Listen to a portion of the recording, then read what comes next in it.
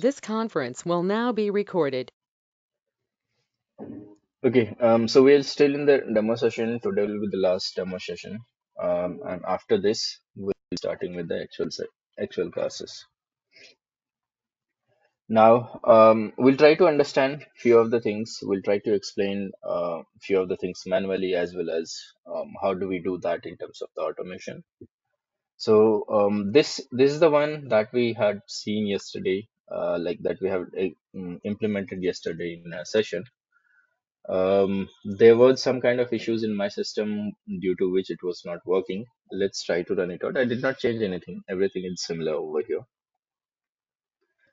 Um, let's try to check whether it is working now or not, and then we'll uh, then we'll move to the next next things in terms of the playwright. Playwright, there are things we cannot complete in each and everything in in two or three sessions. So I'll see. I'll I'll show you the highlight that uh, playwright has um, in terms of um, writing the test automation, executing the test automation, and in terms of the configuration part. Um, just wanted to make sure like everyone is hear me properly. Yes. Um, can anyone answer me? Yes, perfect. Thanks. Great, thanks. Okay. Um, so uh, one thing uh, uh, like this one we have done um, a huge one uh, in terms of the testing, which we were trying to do kind of for the registration of a user, this is again a dummy one. Um, but this is how in general uh, Playwright will work. There is no, no hard and fast rule that you will have to implement what kind of method you have to use for what kind of um, uh, application. So whatever you see over here uh, will be exactly similar in terms of the real sessions as well. Real sessions in the sense like the playwright, the complete play, playwright as well.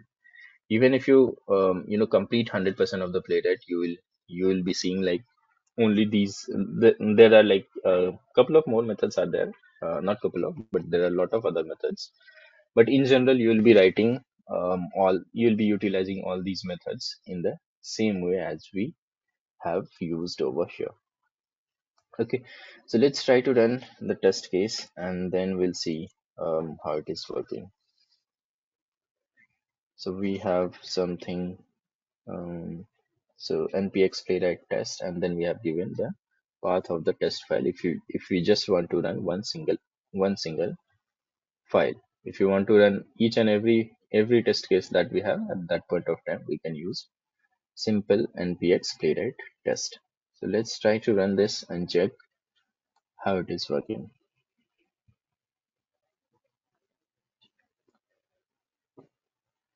So it has launched the URL because we have given headless as false.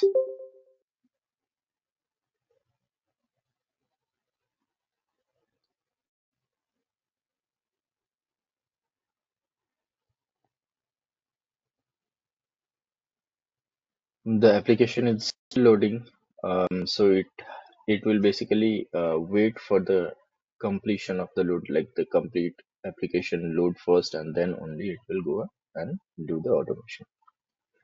So if you see over here, it says that it has waited for 30 seconds, and then uh, basically it failed. It's just because for one particular one element, as we know that the playwright has default waiting time of 30 seconds. Okay, so that's where it failed, um, saying it has like already crossed 30 seconds uh, to check it out due to the slowness of the application. Uh, but we have seen like it filled few of the um, errors. So let's let's try to see once again. Now this time, if you see, it has been loaded. Pop-up has been um, it, it clicked on the submit button, and then the form which we have filled have also been loaded on a model which which was on a pop-up and there we can see like it has been passed successfully. Now in terms of um, the things that you see uh, that it automatically generates a html report we do not have to write any any uh, lines of code to generate the reporting part. Second thing is um, as we have just given screenshot as on and videos and on um, so we also do not have to write any lines of code for taking the screenshot and recording the videos What is meant by recording the videos? I'll just show you. See, if you see this this particular test case, we did not even write any line of code where we are saying that wait for an element, and second, uh, to take this screenshot of the uh, pages, right? We did not see any any lines of code where we have written to take the screenshot of the page. We have just included inside the configuration file saying that screenshot as on. Now let's try to open the report that it has generated. So after completion of each test execution, it will basically recommend you the command that we have that we can use to open the report. Now I'm just providing this one and now you'll see that it will open a report. So you see it has opened a report saying student regression form. This is saying regression as we have marked the tag over here as we have added the tag as well with a regression as a tag. Okay, now let's open this and you'll see like um, see what happened before hooks is it basically tries to launch the browser. It created a new context uh, inside the browser as we have discussed in our um, first session where uh, it basically launched the URL. It also create a new context and inside that it will create a new page. So this is like a setup part where Playwright automatically does for us. We did not we did not basically create browser.new context and we did not create browser dot browser context dot new page if you if you see over here we did not write those kind of lines uh, where we manually create a context and um, create a new page by just writing two two steps which is which i'll show you again um, for the next next uh, test that we'll be writing so what did we do is we have just used a page fixture which automatically does all these things for us, which is launching the browser. What kind of browser that we have given the information inside the configuration file, which is Chrome. Then it has created a context. What is meant by context? Context is something. So, so uh, let's say whenever you try to open a new incognito, what happen is this is basically a Chrome context, Chrome browser context and internally as i've discussed earlier internally uh, there will be some kind of code running which will first uh, create the instance of the browser that means it will open up uh, a browser and on that browser one context will be created this particular things what whatever you see is one context on on this context they have cre- automatically created one particular page now, as many as times you click on this plus icon, it will create a new page on the browser. So this is known as a new page. If you, if basically, let's say if it is not allowing us to create a page, that means this uh, search bar will not be available and we will not be able to search anything on the browser. Okay. So we basically have to create a page on the browser to search anything or to work with any of the things. And that's where here also you'll see the first thing is it has launched the browser. It created a context, which is browser context. And on that browser, it has created a new page. And after that, whatever the steps that we have written, it has automatically logged it inside the report as well. Okay. So this is like everything that we are that we have written in terms of um, in basically terms of um, the code that we have written over here. So every each and every steps it has also logged in uh, logged in inside the report. Okay, so let's go back again. And after completion of the test, when it uh, check that okay mm, whether the thanks for submitting the form is appearing on the uh, after clicking on submit or not. After that, if you see, we did not close the browser, right? We did not basically write uh, to close the browser. We basically have to write browser.close, or we can also use it over here like page.close. Okay, as we are trying to use page fixture, so we can directly use page dot close over here as well. But we did not write anything, right? And we also saw that after completion of the execution, the browser have been have automatically closed, right? So that is also automatically being taken care by the page fixture that we have written over here. Okay, so this page fixture is um, we have discussed this like page fixture is a special type of method that Playwright has given, which does a work for setting up the browser as well as closing the browser at the end at the at the end of the execution. Okay, so after hooks, if you see like after completion of the test execution, what it does is it has taken the screenshot. It also attached the screenshot to the report automatically and then it closed the page and context. After that, it saved the mm, video recording as well and attached the recording as well. So this is a simple report that it has generated after execution of the test case. Now, if you scroll down, you will see like it has also taking the screenshot automatically. And if you see this, this is the video recording that it has generated for the complete test that we have done over here. So you can see each and every steps that we have that it has filled. It has like whatever in terms of execution it has taken the time. It basically captured each and every steps uh, and at the end after come up after clicking on submit it is basically throwing us all this kind of value as well okay so this is again one of a powerful tool where it automatically generates everything for us only the thing that we have to give is or that we have to provide is to write inside the configuration file. Whatever you have to do you can write it inside the configuration file. Now um, now in terms of the reporting um, did i close that?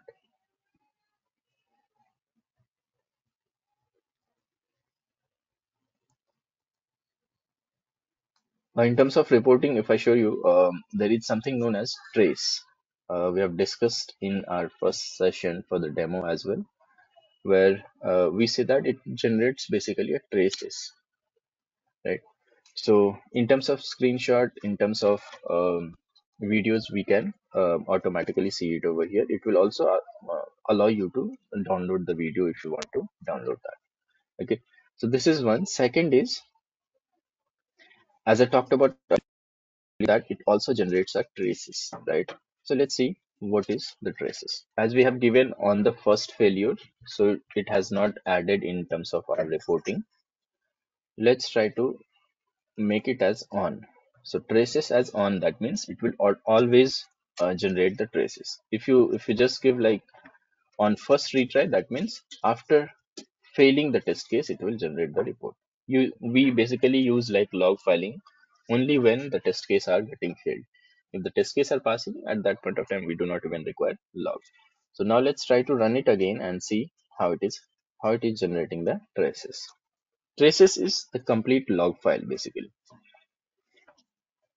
And uh, if you have worked on Selenium, you might be knowing that we have to basically use uh, log4j to generate the logs, whereas Playwright automatically generates each and every logs that it has to generate. Okay, somehow it has um, it has basically ta- uh, passed the test case by running into the headless mode. And let's now go go to uh, go and open the report and see what is the difference that we can observe over here. So even if you run the test case in the headless mode, uh, headless mode in the sense you will not see the browser have been opened. Everything will be captured in the same way. Even if you are running the test case in the headless mode, everything will be captured in the same way. So you see here, even for that also the videos has been uh, generated where we can see like it is trying to load the application and after a few seconds it started uh, doing the operation that we want to do and it have completed the test case. Now earlier I, I talked about the traces. So you can see like it has generated the traces as well. Now if you click on this, you will see what is the use of this trace that I'll I'll just explain you. So this is the first line of code where where oh, let me check it out. right. So this is the first line of code that we can see where we have uh, launched the URL, right?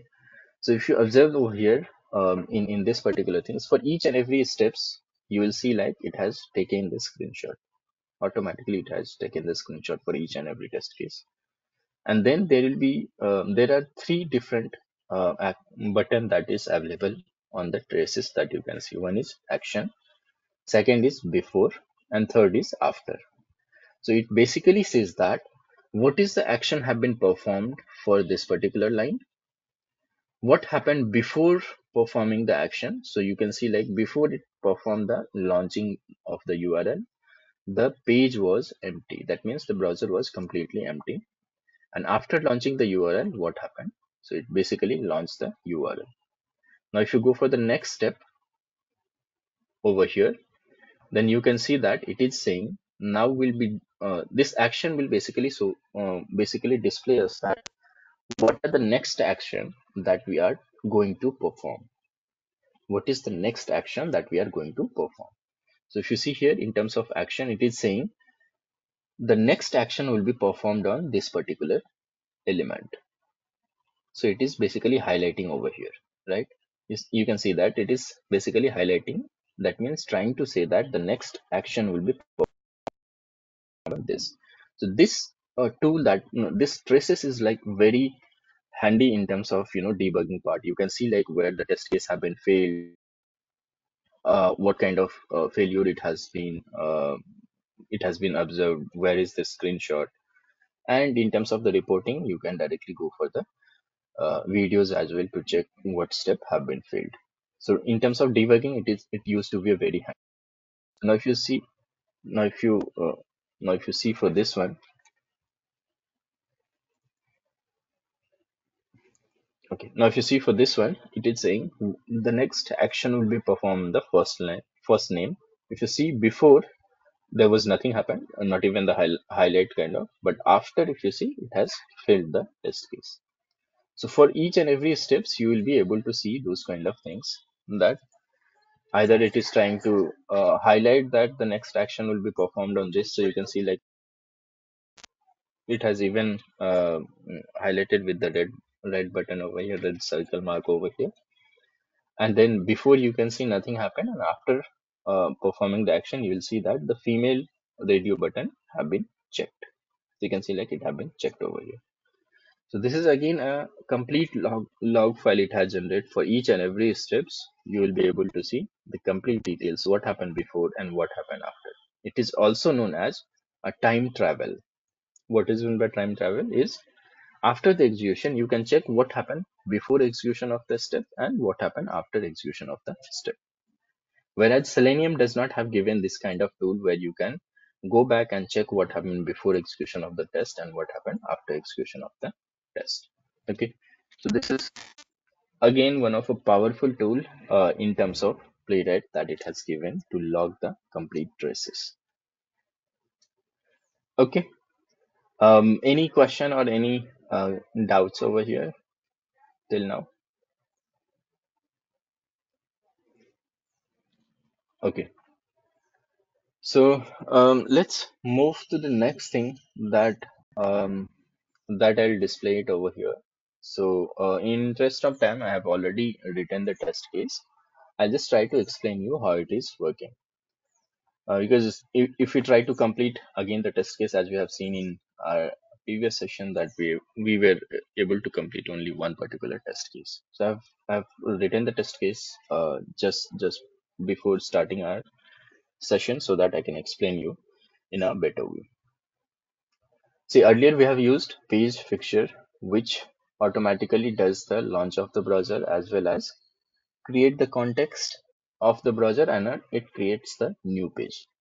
Now we are trying to use a browser fixture, which is another, uh, which is exactly similar to page fixture, but there is a slight difference in the browser fixture whenever we use. This is also this is also one of a uh, special method that Playwright has given. It also does some kind of similar work that Page has done, which is launching of the browser, then creation of a browser context and creation of a new page. In terms of page, if you use page fixture, it will automatically create. But if you use browser fixture, then we have to write the code to create the context and create the new page. So if you see over here, there is a method known as new context, which basically create a context on the browser. It basically creates a new browser context, which will be similar to incognito mode. That means it will not share any cookies and cache. Okay, so um, in terms of page, if you see, we did not write any lines of code which create new context and new page. This page will automatically does does for us whatever these two lines of code is doing. So what it is trying to do, it is as we have just explained that whenever you open a browser, any of the browser, this will basically create first context and it will create a new page which we can see over here, right? In the same way, this browser, if you see, uh, by using a new context method, we can create a browser context, basically creates a browser context and return us a browser context handle. And on this browser context, we can create a new page as well. So we, what did we do? Like we have created a new context and we have stored inside a variable known as context. And by using this context now, we have created a page um, this new page basically creates a new page in the browser context. Whatever the browser that we are trying to use, on that browser it will create a new page and it will also return a page handle, the complete page handle, whatever the new page that we have created. And that we have stored inside a variable. And now af after line number five, uh, the complete handle that we have is now completely depending on the variable that we have declared over here. By using this variable itself, we will be able to write all the methods, call all the methods of the playwright. Now from here, uh, from the line number five, this page and this page fixture are exactly similar. Okay, so if you observe the difference between page fixture and browser fixture is in terms of page, uh, if you use page fixture, it will automatically create context as well as new page on the browser whereas in terms of browser uh, fixture we have to create new context and new page uh, by writing the two line these two lines of code okay after that um, other lines of code are exactly similar that we have written in terms of uh, over here by using page fixture okay so now uh, we have one application uh, which i'll just give a demo for which is which is this one. Um, so what happened in terms of this? This is one of a dummy uh, e-commerce application where we can um, uh, do some kind of shopping over here. So first thing, if you see, we have something known as login, where we have to fill the e- email, fill the password, and click on login button. So what we are trying to do over here is um, so first thing in term even in even if you have to do this kind of things in terms of manual testing how will you do that the manual testing step will be first launch the url second we'll say like fill the valid username and fill the valid password. Then click on the login button. And after that we'll validate if the user is on the home page or not. If the user is on the home page that means it the user have been logged in successfully right? This is how we generally write manual test cases as well like manual test steps as well in what is the uh, what is basically test automation is whatever we do in terms of manual testing we'll convert that into the automation script. There is nothing there's nothing difference in terms of the automation. The only difference is like whatever we are trying to do manually we'll just convert that as a script so that the code will do for us whatever we were doing manually right? So if you see over here we, what what did we do? Earlier we have discussed uh, a method known as goto which is which is helpful for us in terms of launching the url so we have given the url this is exactly similar to launch the url that we have given over here.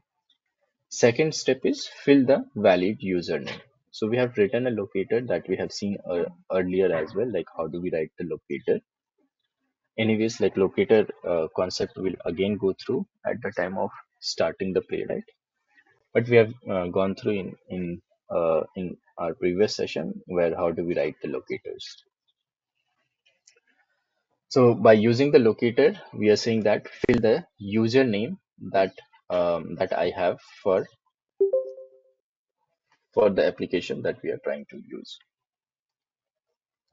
Okay. And in the next line um,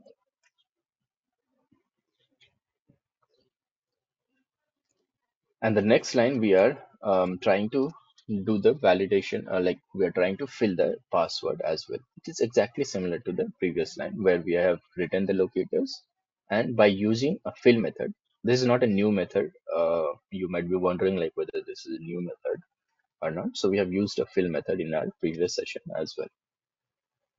Okay, so this is a fill method where we are trying to fill the password for this particular application. Okay, first we have launched the URL. Second, fill the username, fill the password. And third one is uh, we have identified the locator. So if you just go inside this and try to try to check the locator that we have written, then you'll see that it is able to identify. You can see like this is highlighting over here. So it is able to identify the login button.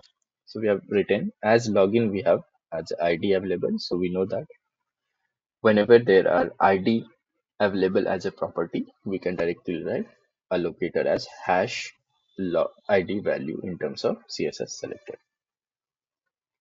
And then we are trying to perform an assertion over here. Um, as we have discussed yesterday, it is exactly similar to what we what we are trying to do the assertion over here by using expect function. So what we are trying to so um, earlier in our previous test case, uh, we tried to validate this particular element is having the text value as to contain text value as thanks for submitting the form. So we have identified a look an element which which basically was for which basically um, was for after filling the application whenever we click submit button it opens a model and for that model we have uh, taken a locator and then we what we are trying to validate is if this particular element is having the text as thanks for submitting the form or not. This was one way. There are a lot of way in which we can write the locators. This is not only the one way. Here what we are trying to do is here we are trying to say that we have a button. Uh, I'll I'll show you with what this button is.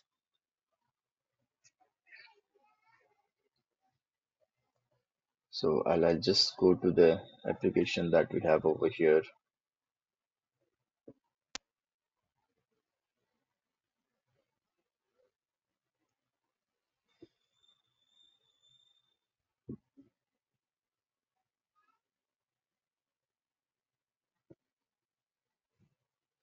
okay. So I've logged in into the uh, system and then if you see this particular text is basically matching different uh, different links that it is available on the home page. So you see this one this is able to identify home button or order button cart button and so on. Right? So we are saying if we are on the home page that means this these buttons should have to be available. Okay. So for that we have written a locator which is currently identifying more than one element. If you see here it is saying five total number of five elements are identifying with this particular locator. So this locator is for the class name. So if we have a class name available then we can use dot and class name in terms of css selector. Now if you see this is basically able to match five different elements. Now if you want to make it to identify only one element for that we have used a first. First as a method available in playwright which says that whenever we uh, whenever a locator is matching more than one em- elements and if you want to work on work on for first matching element at that point of time we can use first. If you want to work for second element then you can use nth of one. That means this one is basically an index which which start from zero. I'll i'll explain you later what is index indexing concept. Okay so either we can use nth method or we can directly use first method if you want to work on for first matching element. If you hover on this first it says that returns locator to the first matching element. Though it is able to match five different elements by using a first method we'll be able to restrict this particular locator to match only the first element available on the page. Okay? And then we are saying to be visible. That means we are just saying that expect this element to be visible on the page. Okay? It's it's simple. If you just try to read this particular line it says that expect this element to be visible on the page. To be visible means it ensures that the locator that we have given is available on the page, is visible on the page. Okay. Now let's try to run this uh, um, and check it out how it is working. So I've just clicked run button and you'll see that it launched, it filled the username, password, and it has also validated that we are on the login page. Okay, so there you'll see like it has basically been passed. Now what happened over here is we filled the username, we also filled the password, and we clicked on login button.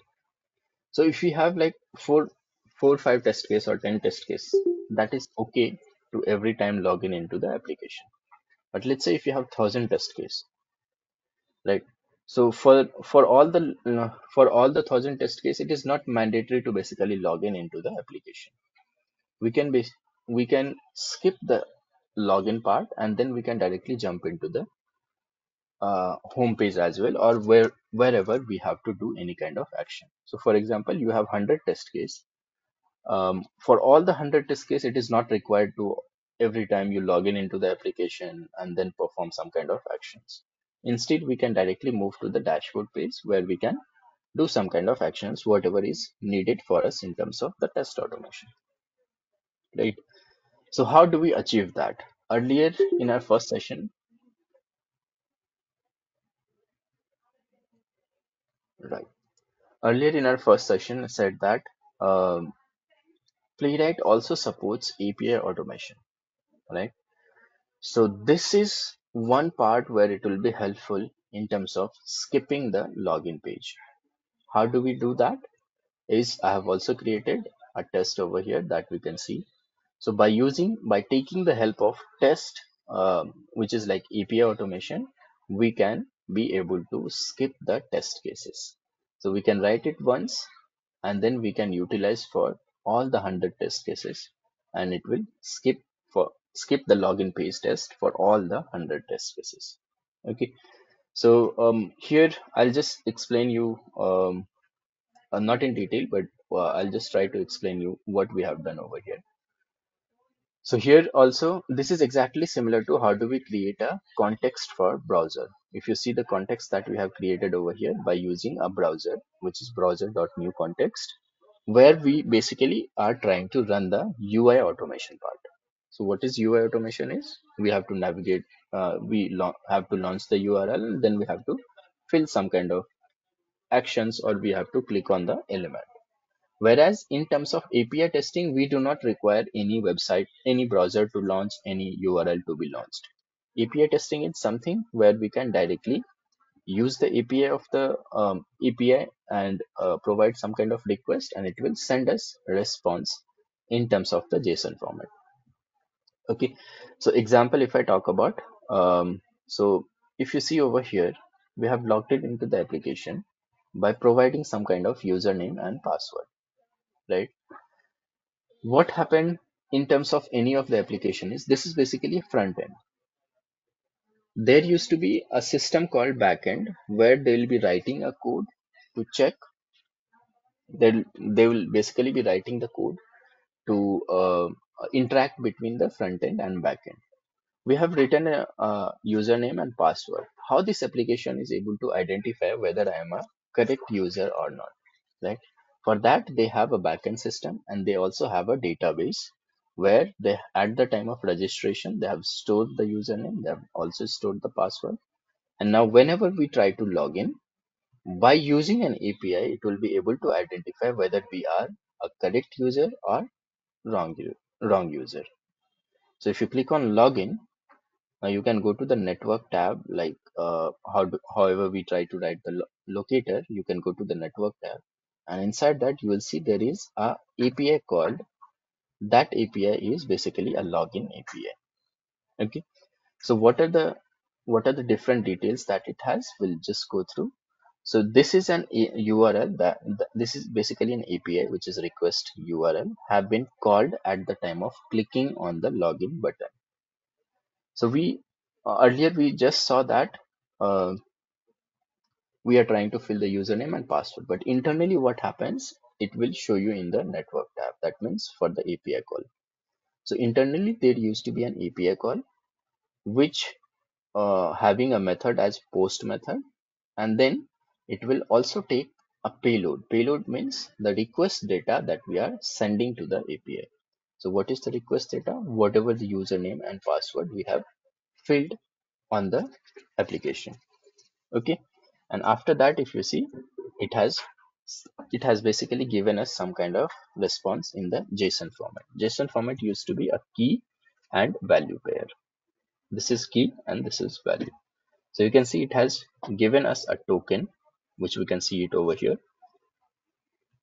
It also generated a user ID for this particular, the user that we have used for that user, the user ID is this, and a message saying that login successfully. Okay. Now there is one more concept. Whenever um, whenever you uh, do a login in any of the application, the developer will write a code in such a way that the token that it has generated over here, they'll also store this particular token inside the application tab and inside the local storage. If you go and check inside the local storage by going to, you can directly right click on the application, click on inspect, go to the application and inside that if you go to local storage, you will see the exactly similar token and value will be stored it over here as well. So developer will write a code in such a way that as soon as you click on login button, an API will be called and whatever the response that API is providing us, as we have seen over here, the response is token and so on so. One authorization part will be there. Here it is mentioned as token. In some other application, it might be authorization as a token name. So this particular things will be stored inside our local storage of the browser okay and now if you try to let's say if you try to again log in if you try to launch the url again for the same application uh, on the same browser you will see that it is not even asking us for username because at the time of login um, it has already set some kind of authorization and browser is able to identify that there is this particular user who have already logged in but if you try to do the similar kind of things in the incognito mode, you will see that it has, it will basically ask you the username and password because incognito does not store any kind of cache or cookies value. If you, if you see here inside the application and local storage, there is nothing stored over here. Now let's see what will happen. Now we know that inside the local storage, it has stored a key as token and value as this particular value. So I'm just copy pasting over here in terms of the incognito browser. So what I'm trying to do is I'm manually setting up the token and the value that we have copied for the token over here. Now I've just set it up the token and value inside application tab and local storage of the browser. This is a local storage of our browser. Now let's say refresh the application once and see what happened over here. Now it did not ask us to log in into the application. It basically directly redirected to the home page. Right? How it happened? It happened because we have set the token value over here saying that this is the authorization of the user which consists of a username and password. And it automatically identifies a user which is stored in the database. Okay. So this is what we can use in terms of the api automation to set the authorization at the local storage. And from there onwards it will skip the login each and every time whenever we try to do some kind of um, some kind of automation in terms of uh, web web application so if you see over here we have launched the URL, we have filled the form, and then we have redirected to the home page. But if you see in this particular things, uh, this is similar to however, uh, however uh, it is basically generating the uh, response. So if I show you in terms of the, I show you in terms of um, um Postman, which is which is very helpful for uh, API API testing in terms of manually so what did I do is I have I have taken the URL that we have seen at add the login. This is the URL that it has called. That means the API that it has called, which is this one. What is the method? Method is having a post method. So if you go in go to the postman, exactly similar things I have done. This is the API. This is the post method. And what the body it has taken? The body is that you can see inside a payload. If any kind of request parameter or input value that we are trying to send, then you can that this we can we are trying to send inside the postman as well as a body. And now if you click on send button, that means now we are trying to click on login button and it has given us some kind of response which is token user id and message whatever it has given us at the time of login. Similar things it is also providing in terms of the postman. And now using the same api automation using the same similar api uh, so what what did i do over here is we have created a context for api we are not trying to create a context for browser. You see over here, this is empty, completely empty, where we have not used any page or browser fixture. As we are trying to interact with API, so we do not require any browser to be launched. Okay, so for that we have created a context for API and then we are trying to do a post call. How do I know I have to do a post call? We can see over here inside the browser as well, where a URL is this, which is API is this, and the method is post method. So we have to do a post call over here. We are trying to do a post call. It is the same API that it is uh, calling after, after clicking on login button. And we have provided a data over here. What data? The same data that it has taken, that it is taking inside the payload. In terms of API terminology, the input data that we are trying to send is known as a payload. Okay, so we have stored inside this and that we are trying to send with along with a key and value pair. So whatever you see inside the curly braces in JavaScript or TypeScript are known as are basically known as object in TypeScript. An object consists of key and value pair in TypeScript. Okay, so that's why we have given a key as data and value whatever we have stored it over here. And now uh, it basically uh, provide after uh, performing the API automation, it basically provided some kind of response. So we have stored inside a variable. We have created a variable and stored the response inside this. We are only interested in the JSON format of data as we can see that this is uh, replying us back the data into JSON format. JSON is known as JavaScript Object Notation. The full form of JSON is JSON is JavaScript Object Notation. So it basically uh, provide us value in terms of JSON object. So by using a JSON method, we can just get the token that we want to get it from. So what, why we are trying to get the token? As we have just seen an example in terms of incognito, if we store the token on the application local storage, it will automatically skip the login page. So that is what we are trying to do by using the automation. So what did we do over here is we have just stored the token and inside the web automation, whatever the web automation that we are trying to do, we are first launching the URL, URL of the application and using a method known as add init script have been given by the playwright. This add init script is a method available inside a playwright which used to set some kind of value or run the JavaScript or TypeScript code. Okay, so this if you see it is saying inside the window, go to the local storage. Now let's navigate over here as well. So this is a window, this is a browser window and inside this window we are saying go to local storage. So that is what we have written over here inside window, go to local storage and set the value. What kind of value that we have to set? a key as a token that we have set it over here and the value the value that we have received from the API call of the this particular value. So we have stored the token inside a token variable and that token variable we are trying to use it over here to store inside the local storage. Okay. And now what did we do? We are just trying to launch the URL. If you see this example where we have tried to launch the URL, filled the username and password and then clicked on login button. right?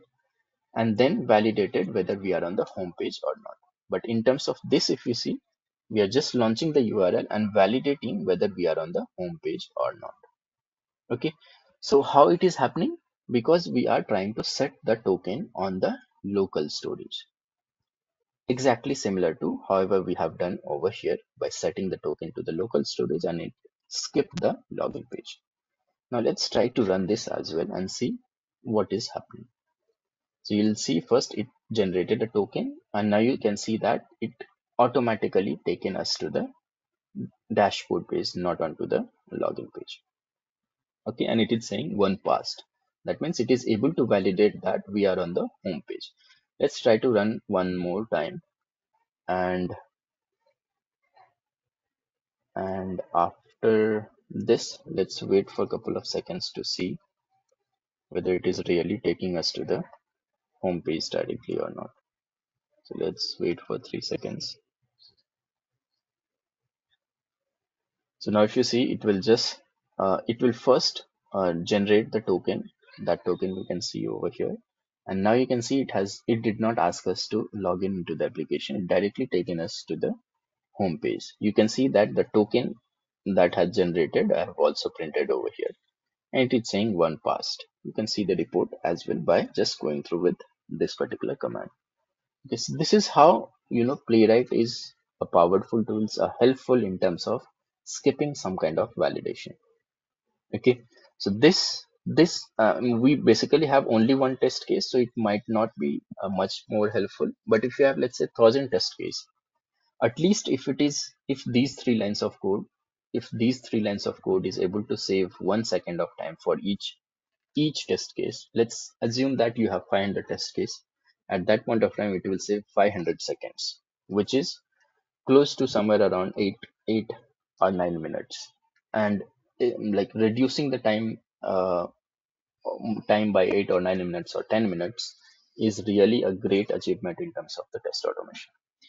Okay so that is that is what you know the playwright is uh, helpful where we can automatically use the playwright api library as well and get through the automation wherever we want to either skip some kind of things or we want to test some kind of edge cases at that point of time we can use the you can take the help of api uh, like playwright api automation as well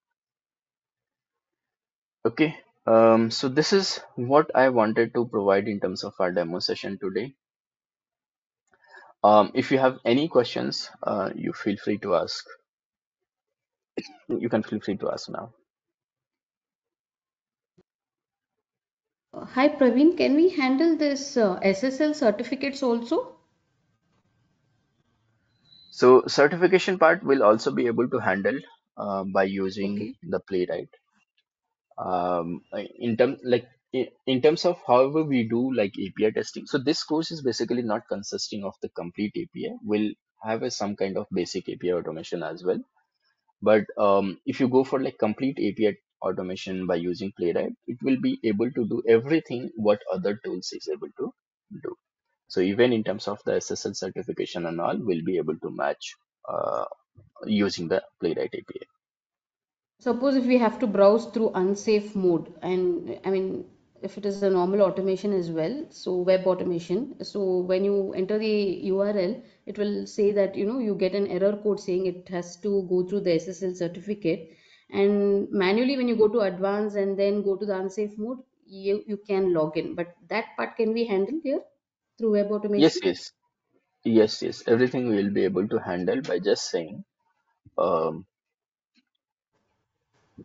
if you go inside this, you can say it as, there are many other options where you can say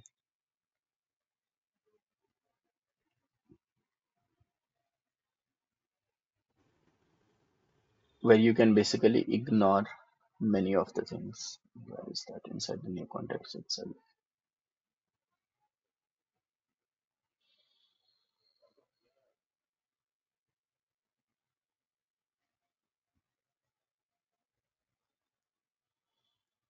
So there are a lot of things. One one is like uh, ignore HTTP errors, HTTPS errors. So if you provide this, it will not throw you an error even if you go for the unsafe mode. Okay. It basically ignores those those kind of errors whenever you try to uh, get like you click on advanced setting, advanced and and then browse through right for the unsafe. It provides over Okay. here to ignore those kind of errors. Okay. Thank you. Any any other questions? Um, Praveen, uh, just a question. Will you be covering a little bit more about browser context and page in the upcoming sessions? Browser context and page, uh, right? Um, so we'll we'll again once again cover uh, at the time of going through the the playwright. Once we start with our playwright session, we'll cover up in detail again.